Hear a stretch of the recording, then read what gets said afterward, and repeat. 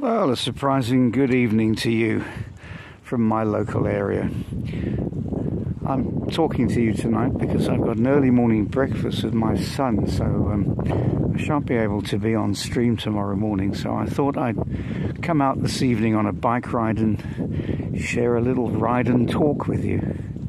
Well, I was watching a program this evening um, on one of the uh, f- what we call the Freeview channels in the UK, and uh, it's called That 60s, and it's all 1960s music, which is really all from my era, really. And um, I was quite struck by one of the songs, and I sort of tied it up in a way with the messages that I've been giving you over the last couple of days, with that great big list of things that have happened over the last three years. And I was thinking particularly of uh, the way that people are walking around with blindfolds on, really, not really seeing what's going on around them, not understanding where we are in the world today. And uh, I listened to this particular song, and I'll share the words with you.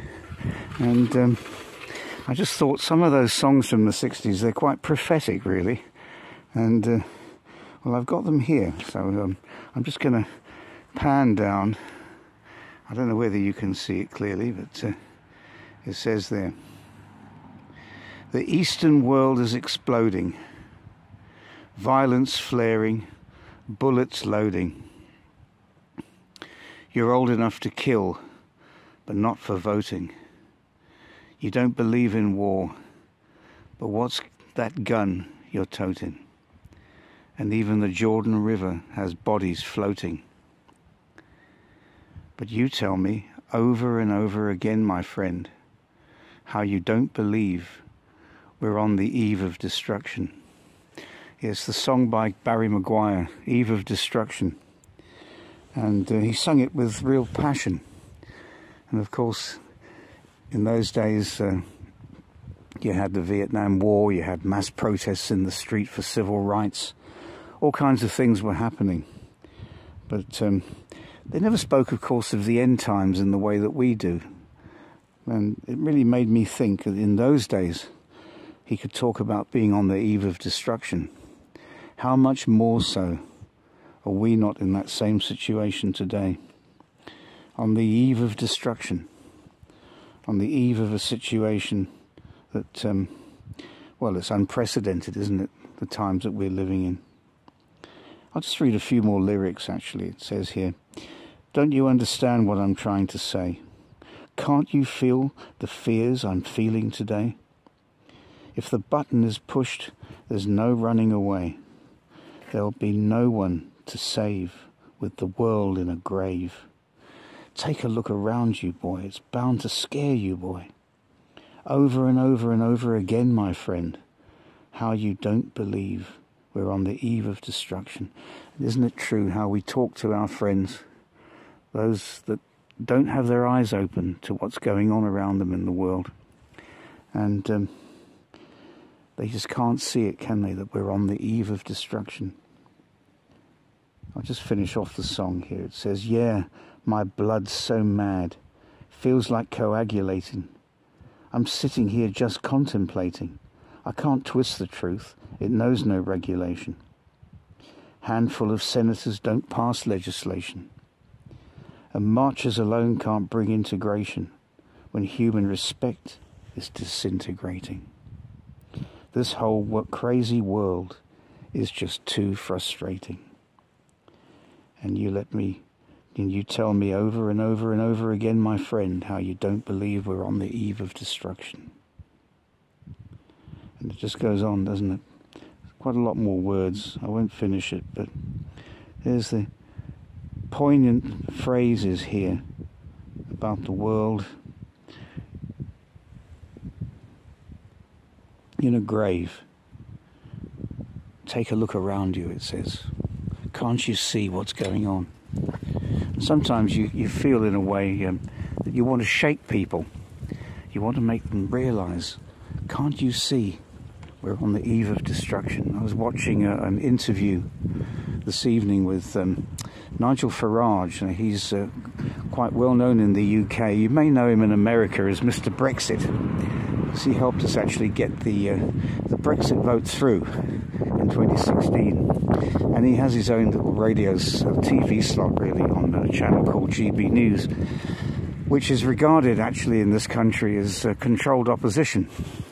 But he was interviewing somebody from the Office of National Statistics in the UK, and they were looking at the situation with the the V, okay, and all the harms that are being done with the V, and. Uh, as I was talking about this morning, the excess deaths that are occurring, as they were saying on the, their particular interview, that um, there were a thousand excess deaths a week.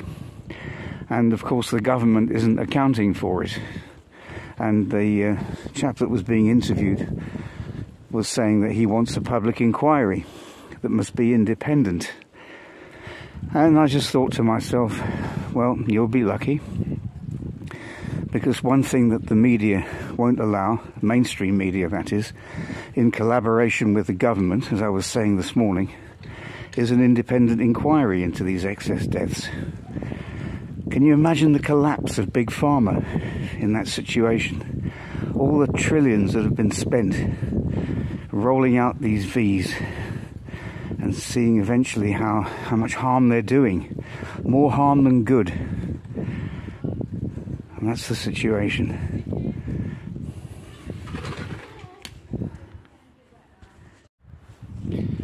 Actually, I, as I'm riding along here, I thought I would finish the lyrics because um, it makes mention here of particular places, which of course were trouble spots in the 1960s. And it goes on here, this last um, stanza of the song. And think of all the hate there is in Red China then take a look around to Selma, Alabama. Ah, you may leave here four days in space, for four days in space, but when you return, it's the same old place. The sounding of the drums, the pride and disgrace. You can bury your dead, but don't leave a trace. Hate your next door neighbor, but don't forget to say grace. And you tell me over and over and over again, my friend, you don't believe we're on the eve of destruction. No, no, you don't believe we're on the eve of destruction. Well, we know what's happening with Red China, don't we? And we also know what's going on in the southern borders of the United States. And yet, also, with regard to the space race and people going up, they're still going up in space. And yet, all down here, there's just one big mess, isn't it? One big dilemma while they're up there in space. It's interesting, isn't it? You can look at those words and you can really fit them into any time, I suppose. And you can see the the pride that's referring to here. Pride and disgrace. Yet men don't see the state of their souls they don't see where they're going, do they? There's only one way out. And that one way out is the cross, the cross of Jesus. That was the whole gospel, wasn't it? The whole point of Jesus coming. Repent for the kingdom of heaven. He was saying basically this repent because you're on the eve of destruction. Yes, a lot of these songs were prophetic and they were commercial, and people danced to them. And the same today, people dance to tunes. And of course, people are dancing, aren't they, to the tunes of the devil, dancing to the enemy's tune. Yes, following his panpipes and following him to destruction. He wants to take as many with him as he can.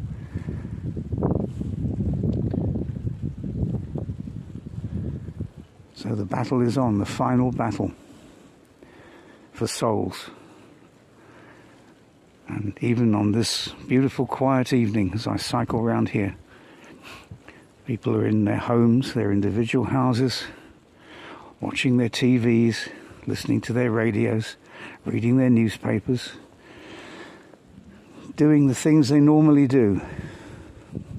And as the scripture says, all of a sudden it'll happen. He'll come like a thief in the night. When they're not expecting him, Jesus will return. And then their destruction will be sure. Sadly sure. So this is a time for us, isn't it? Just one week into the new year, when we recognize where the world is and what God wants us to do, how He wants us to pray, how He wants us to share His word, how He wants us to live, and to be aware of what's going on around us. Many individual lives are on the eve of destruction. Marriages, families, wayward children, broken homes. People are orphaned. They've got no leader, they've got no guide, no one to lead them, show them the way. We've got the light. We've got the light of Jesus Christ. We've got that gospel. So, that's my exhortation to you tonight and to myself.